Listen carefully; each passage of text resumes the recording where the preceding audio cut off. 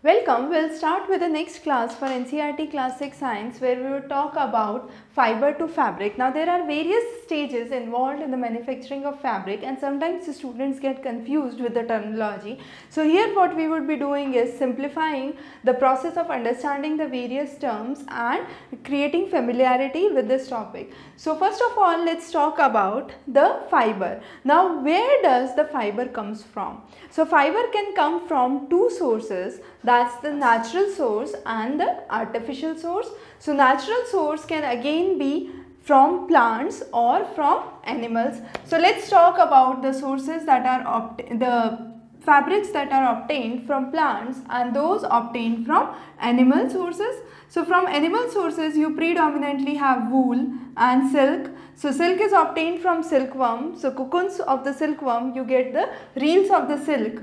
Wool is obtained from sheep. Then you have rabbit. You have Shahtush wool that is now banned. It was previously uh, commonly seen in the parts of Jammu Kashmir. Now Shahtush is derived from a small deer and uh, to get that wool you have to actually kill that deer and therefore this wool has now been banned. It is considered as one of the finest wools. Besides that you have Angora wool from the rabbit. Then you have wool from yak, from camels and so on. So those are the various sources of wool.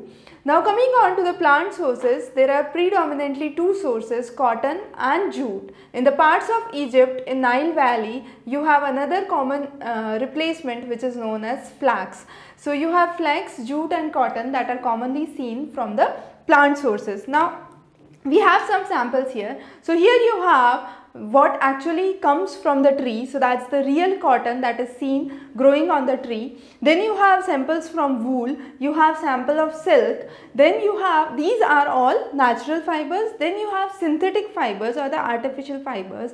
Those are polyester, nylon. So all these are samples of polyester, nylon are uh, synthetic fibers. Now how do we first of all differentiate a natural fiber from a synthetic fiber?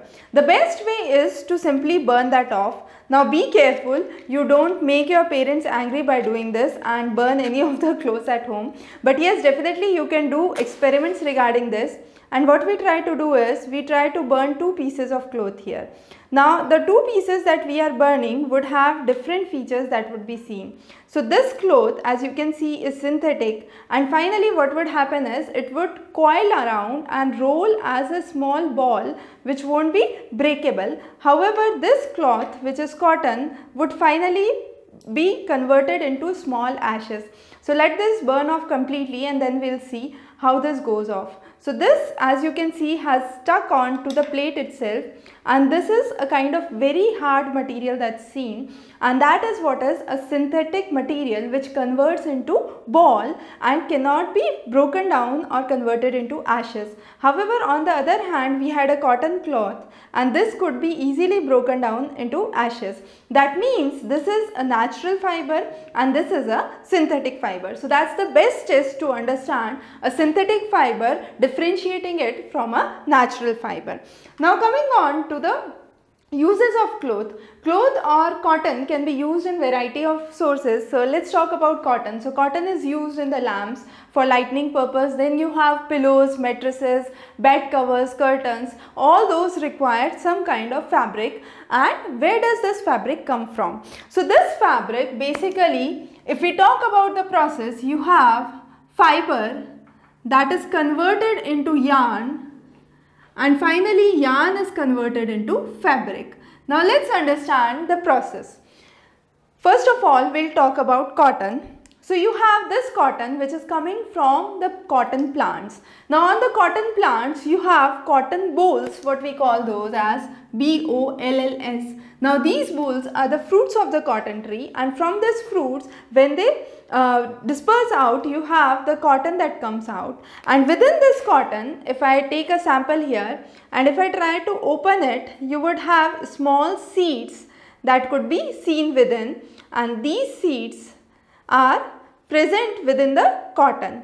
Now once this seed is removed, this seed is removed through the process of combing. So what you do is you comb the cotton and you remove the seeds and this process is known as combing also known as ginning. So that's the first process in which you take out the seeds from the raw cotton. Now this cotton you can see the filaments out here. These filaments when you closely see these filaments these filaments are known as lint and this lint is finally pressed. The pressing is done in the cotton uh, and this process is known as cotton baling or the cotton bales are produced. Now why is the use a requirement for producing a bale of cotton? The basic requirement is the cotton is so bulky. So if I press this amount of cotton, it would convert into not more than a, matchbox or even lesser than that. So what the idea here is, the idea is we are converting or we are reducing the volume of the cotton so that transportation basically becomes easy and industries can easily fetch this cotton. So what is done is through the process of baling we create huge bundles of cotton and those cottons are transported to uh, the factories for spinning where the yarn is created. Now yarn basically is the thread. So what you basically see as a thread is a yarn. Now how does this yarn comes out? You have this cotton. What I do is I try to stretch it as far as possible and then I try to roll it. So that's the simple method you do it by hand and you try to prepare a thread. However, now it is done with machines and in factory and the process is much more simplified. So this becomes the yarn or the thread. Now this thread would be used for preparing the clothes. Now when you are using this yarn, this yarn further when I want to disperse it, sorry, when I want to disperse it, this would come out as lint or fiber. So what we can say is within the yarn you would have small fibers those are present and these fibers ultimately lead to the formation of yarn. So that's another important concept to understand.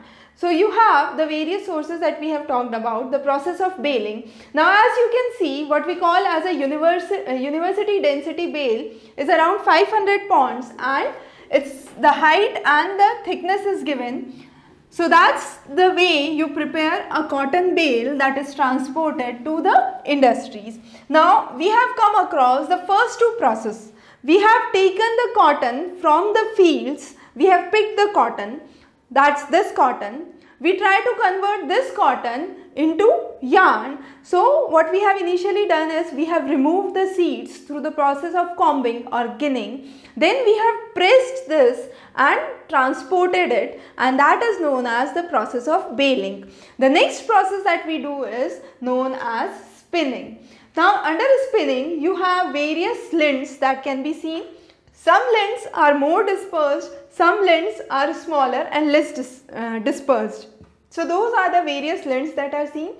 Now we do this by the process of spinning. We prepare the yarn. Now this yarn is all the fibers that are present are brought together. As we said, when we take a cotton and we try to stretch it, then we try to twist it around and finally you have a thread that is prepared and this process is known as spinning. Spinning has been done through various means.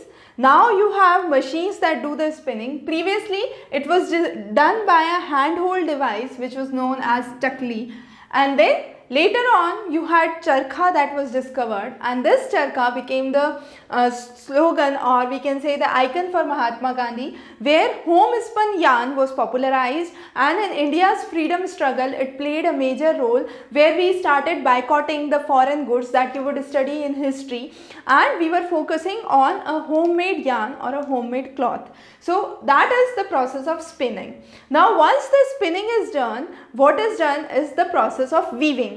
Under weaving what happens is you have the cloth that is interknitted. So you have one series of cloth, the other series of the cloth goes from up then down, from up and down. So if I have a kind of fiber here, I, if I take a cloth here, you can see small lines that are running horizontally and then there are parallel lines. So what I do is I try to pull a thread and you can see how these uh, could be diversified and you can see the individual fiber or the in, sorry individual yarn coming out from this thread. So you can see these that were the vertical ones and then you can see small lines those are the horizontal lines running through. So you have the process of weaving that occurs and this weaving occurs by knitting the cloth horizontally and vertically and that process is known as weaving. Now weaving is done when the uh, there are two ways in which the yarn is arranged one is horizontal and another is vertical. The next method is knitting. Knitting is commonly used with woolen fabrics. So under knitting what happens is you simply have one uh, one yarn that goes on. So using a single yarn you create a cloth. So you have woolen sweaters that are being uh, knitted and once you pull one thread, the whole of the sweater would open out. And that's a kind of knitting process. And you can see in the figure how it is demonstrated. So if you just pull one end, it would open out whole of the uh, fabric that has been prepared. And that process is known as knitting. So difference between weaving and knitting, in weaving there is interlocking or kind of interconnections between two fibers, uh, two yarns that are seen. And in knitting you have a single yarn that runs through. So if you pull a single yarn, the whole of the fabric would open out. So that's the basic difference between the two. Now besides this, let's talk about general things about cotton, where you find cotton. In India, you basically have the region of Deccan and Malwa plateau where you find the maximum cotton. So you have the Deccan plateau and the extension of Deccan plateau into Malwa in the regions of Madhya Pradesh and uh, southern east Rajasthan where you have the black soil. Black soil along with humid climatic conditions are considered as the best areas for the growth of cotton. So whole of uh, southern Gujarat you have parts of peninsular India, you have black soil and the regions where you have black soil, you have ample of cotton production that is seen. Jute on the other hand is seen in the moist areas of West Bengal, the coastal areas of West Bengal.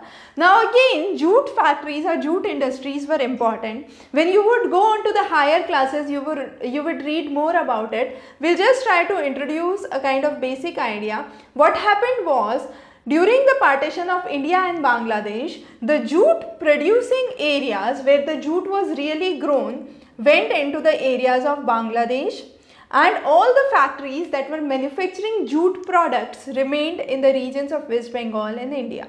So there was the kind of production that was going in another country and the factories that were present in India. Now after the partition the scenario became worse and Indian factories could not get ample of jute. So there was a need for synthetic fiber or artificial fiber to be prepared to compensate the losses from the jute industry. And slowly and gradually we started with the synthetic fibers and that gained momentum in the later half. So the, that's a kind of brief idea about the jute and the cotton. As we said in the areas of Egypt you had flax uh, mainly in the Nile Valley civilization you see flax that was grown and that's a kind of substitute for cotton and jute. Now coming on to the history of cloth making. Initially people did not have cloth because they were not familiar with the process of spinning, the process of weaving or knitting. So what they used to do was they used to use bark from the trees or leaves and create clothes. However, later on it was realized that cloth can be manufactured and when they started manufacturing cloth, they were just draping around the whole of the cloth because the needle was not discovered. So, stitching was not possible until and unless you had the discovery of the needle. So, be it a very small thing, its discovery was really important for civilization. Now, once Stitching was discovered with the invention of needle. You had various fabrics that were prepared and the clothes that were stitched and undraped clothes slowly and gradually vanished. However, as of now also in India we have numerous unstitched clothes. Some of the examples are mentioned here.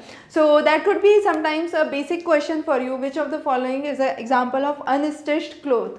So that's important to understand. Now coming on to our next important topic, how do we identify a material? So as we said, one of the basic aspects to discriminate between a synthetic and a natural fiber is simply burning that. A synthetic fiber would turn out to be a solid ball. However, a natural fiber will, will break down into ashes and would uh, be easily uh, moving apart. However, that was one of the criteria. The next criteria is the fabric. So once you see the fabric, this silk is very very smooth. However, you have cotton that has more burrs as compared to silk. So that example is given in the picture. You can see this thread with small fibers coming out and the lint being spreading out. So that is an example of burring that can be seen in the wool. However, on the last you have a cotton thread with no burrs. So you have maximum burrs that are seen with the woolen fiber, less in the cotton yarn and least in a synthetic yarn. So that's again one of the ways you can identify the cloth material or the cloth type. Then you can observe the luster, the shine and finally, you can separate out the fibers and then identify what kind of fiber it actually is. So in this class, we have understood the basic idea of how a fabric is manufactured and that fabric finally goes into the manufacturing of various garments and clothes However, to manufacture this, uh, this fabric, you have fiber that converts into yarn, that's the thread and that thread finally converts into a fabric. So that was a kind of very fundamental class. We have introduced few important terminologies, ginning that is combing where you remove the seeds of the cotton. Then the next process is baling where you press the cotton. The next process is weaving that's interlocking of the yarns that could be seen, uh, sorry, spinning where the yarns uh, is manufactured by twisting it. Then you have weaving where you have interlocking or knitting which is commonly seen in woolen fabric where you have a single thread that is used to prepare the whole fabric. So with this we cover our third class on the basic concepts of science. We would be continuing with more lectures on science in the upcoming classes. So definitely stay tuned, do subscribe to the channel. If you have any doubts you can leave those in the comment box below. Have a very good day ahead.